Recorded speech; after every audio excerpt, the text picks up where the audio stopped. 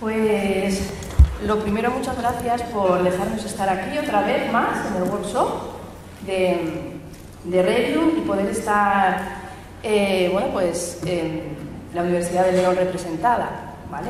La biblioteca de la Universidad de León representando. Eh, bueno, creo que mi presentación va eh, a reforzar bastante los, muchas de las cosas que se han ido diciendo a lo largo de, de estos, no, del día de ayer, sobre todo lo que tiene que ver con el, eh, ensalzar la tarea del bibliotecario académico y, de la biblioteca académica como, bueno, pues como eh, principalmente como, bueno, pues como con el cambio que ha habido en los últimos, eh, en los últimos años. ¿no? aunque todos nosotros, la mayoría de nosotros como bibliotecarios académicos que somos, no sé si nos lo creemos mucho, pero, pero yo creo que tenemos un papel muy relevante como socios de nuestras instituciones, eh, ya que trabajamos como eh, dando asesoramiento directo a nuestros usuarios, ya sean docentes, investigadores, estudiantes.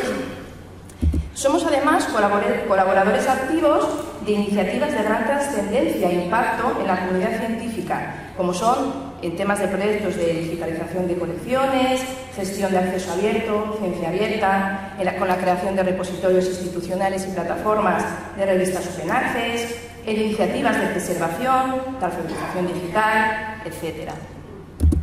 Y además eh, nos hemos convertido en personal de confianza de nuestras instituciones, ya que eh, nos hemos acomodado, o por lo menos lo intentamos, acomodarnos a las demandas reales de nuestros usuarios y nos hemos reinventado con el objetivo de ofrecer servicios útiles para poder garantizar la sostenibilidad de nuestras bibliotecas. Eh, existen, eh, bueno, eh, son varios los informes y los documentos procedentes de asociaciones, profesionales que dirigen a la biblioteca académica como un servicio líder dentro de la institución de enseñanza superior y responsables de transmitir los recursos necesarios para avanzar en las tareas de investigación y aprendizaje. Un ejemplo eh, lo tenemos aquí, este, este informe que se publica en 2022, hace poco tiempo, donde se propone a la biblioteca académica permanecer alineada estratégicamente con los demás miembros del equipo de gobierno de nuestras universidades. Los bibliotecarios deben apoyar en los puntos y planes fundamentales sugeridos por los líderes de nuestra institución. En muchos casos no es fácil porque no se tienen los recursos necesarios, pero por lo menos se debería de intentar.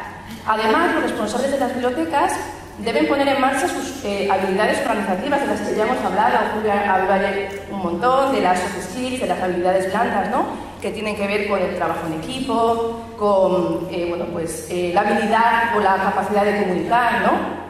Liderazgo sería una realidad si los responsables de, los, de, las bibliotecas, los jefes de bibliotecas, se consideran miembros de, la, de, lo que es el gobierno o el equipo de gobierno de la institución y no solo coordinadores de un servicio.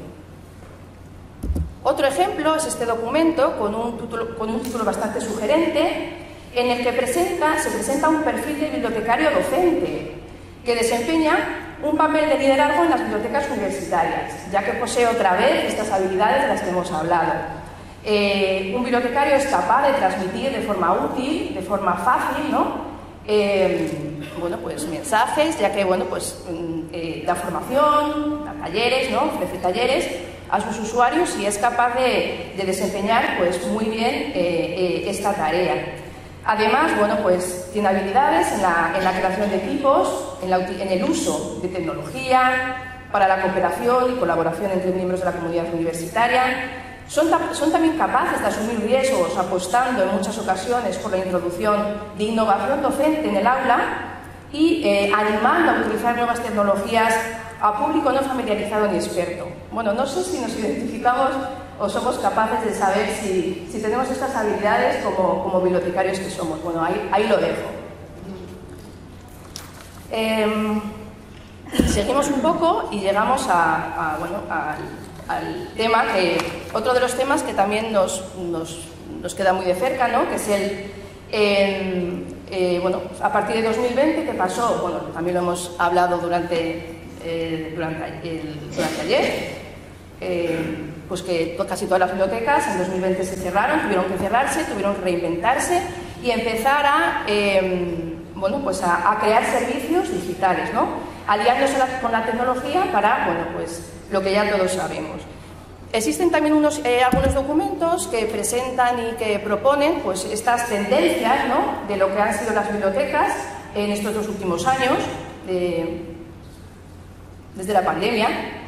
Y tenemos este titulado Top Trends in Academic Libraries, donde se, mm, ah, resumen temas eh, bastante esenciales en cuanto a lo que son las bibliotecas académicas eh, a partir de, de 2020.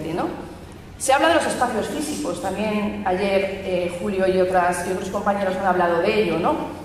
Eh, bueno, pues en 2020 casi todas las bibliotecas tuvimos que cerrar y nos tuvimos que adaptar, como he dicho, a, nuevos, a prestar nuevos servicios y adaptarnos a nuevas circunstancias. ¿no? Eso es un reto, eso ha sido, yo creo que un hito bastante interesante para nosotros.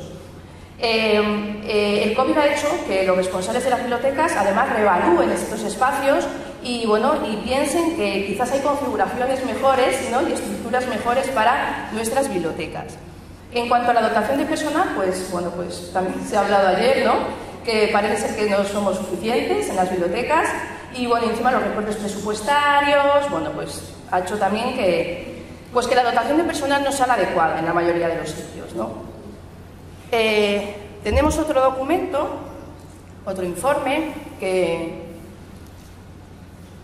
que se titula Transformación Digital de las Universidades hacia un futuro post-pandemia en el que hay un capítulo que se habla de la, biblioteca, en el que se mantiene que a pesar de que las bibliotecas universitarias han cambiado debido a la tecnología, sigue siendo eh, su esencia, sigue siendo la misma, que es la de recopilar, gestionar, preservar y hacer accesible la información científica a sus usuarios.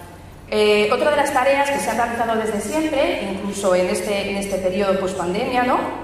es el servicio de alfabetización informacional y digital. Este aspecto reforzado por la pandemia, ya que bueno, pues, mm, se, ha necesitado, se ha tenido que, bueno, los bibliotecarios nos hemos tenido que forzar a, aprender, a, reforzar esas competencias digitales debido a que bueno, hemos tenido que ofrecer servicios eh, online.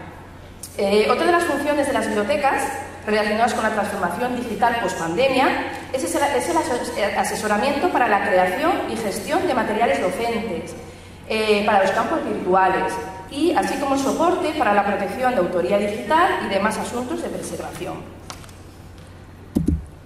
Bueno, pues si hemos señalado la importancia que tiene que la biblioteca académica esté involucrada en los procesos, asuntos, tareas de la institución en general, no podemos dejar a un lado eh, al personal que trabaja en ella, nosotros, ¿no? Eh, y a su labor de acomodarse pues, a las demandas reales de los usuarios, a su capacidad de reinventarse y a su actitud para posicionarse como socios imprescindibles en las tareas de organización para la, para la que trabaja. Eh, bueno, en 2013, que mm, ya hace tiempo, ¿no? Eh, aparece un perfil eh, desconocido hasta ese momento que, de bibliotecario, que se le denomina bibliotecario incrustado y que se le define como, o integrado, incrustado o integrado, que se le define como aquel profesional de la información y documentación altamente especializado cuyas funciones realiza a menudo fuera de la biblioteca, en colaboración con el resto de la comunidad universitaria, en procesos o servicios no bibliotecarios, aplicando sus competencias y conocimientos allí donde son necesarios, mejorando la imagen del bibliotecario y, por extensión, la de su tradicional lugar de trabajo. En una línea muy parecida eh, está el perfil que también se ha comentado ayer del bibliotecario de enlace. Se comentaba en una de las, de las presentaciones que quizás este bibliotecario de enlace eh, estaba en peligro de extinción. Bueno, que después se dijo que no, pero eh, se, bueno, se mm, se, hizo esa, como, esa, como esa pregunta o esa, o esa reflexión. ¿no? Este bibliotecario de enlace, eh, la principal función es la de ser contacto directo entre la biblioteca y una unidad dentro de la universidad, con el fin de ofrecerles apoyo eh, en las tareas de enseñanza, aprendizaje e investigación. Este bibliotecario de enlace, por lo tanto, extiende sus funciones eh, a las que se consideran clásicas o tradicionales y responde mucho a todo lo que llevamos diciendo hasta ahora en la presentación en cuanto a bibliotecario, socio, activo, colaborador, de confianza, en las, líder en las instituciones de enseñanza superior. Sí que nos gustaría, vale, sí que nos gustaría eh, tratar, eh, nada, pues tres aspectos en los que creemos que este bibliotecario de enlace, este bibliotecario incrustado, ¿no? Eh, puede realizar Em, eh, qué tareas puede realizar eh, en relación a tres, a tres aspectos fundamentales dentro de la institución.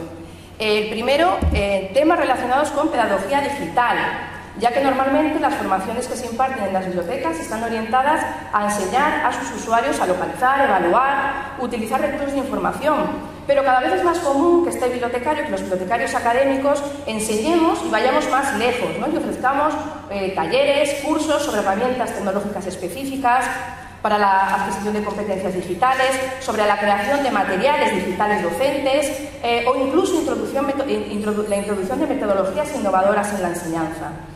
Eh, por otro lado, Em, este, este, bibliotecario incrustado dentro de la institución o involucrado eh, realiza eh, tareas relacionadas con la publicación académica digital, sobre todo relacionado con eh, el asesoramiento a los investigadores en proyectos de edición digital, em, bueno, principalmente ah, en asesorar en asuntos de, de derechos de autor, acceso abierto, etc. Y la última el último bloque, en proyectos de colecciones digitales, bueno, que ya también eh, se ha comentado mucho.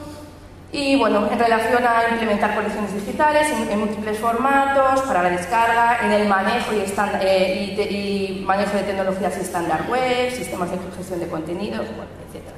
Y nos gustaría terminar un poco ofreciendo eh, o presentando, un poco detallando eh, algunas de las funciones que desde la Biblioteca de la Universidad de León estamos realizando algunos de los profesionales, algunos de los bibliotecarios, para conseguir involucrarnos al máximo eh, en las tareas y procesos de la institución, de, bueno, de la universidad, de la institución en la que, en la que trabajamos, e intentar que este liderazgo sea cada vez más real. ¿no? Bueno, formamos parte de equipos y eh, proyectos de investigación, sobre todo asesorando en temas de creación de bases de datos, en creación de, mm, sistemas digitales, eh, incluso en, la gestión de redes sociales, em, en actuar de, bibliotecario docente, ¿no? yendo un poco más allá y formando en, tecnología y en herramientas eh, digitales. Eh, damos soporte y apoyo a, editoriales, o sea, perdón, a editores institucionales, sobre todo en las revistas que, publican. ¿no? A través de un comité asesor de revistas les asesoramos principalmente en temas de posicionamiento y visibilidad de sus publicaciones. Hacemos también de bibliotecarios docentes, como, como comentaba antes, yendo un poco más allá y ofreciendo Talleres y formaciones para la creación y uso de materiales docentes, herramientas digitales y todo un poco eh, que tenga que ver con su trabajo docente. Eh, y finalmente, eh, bueno, pues escuchamos, eso es un poco como el final, ¿no? Escuchamos sus necesidades reales para intentar, bueno, pues ofrecer servicios que les sirvan. Bueno, yo cada vez me veo más incrustada o involucrada en la institución no sé ustedes, lo dejo ahí para que lo reflexionen. Y muchísimas gracias.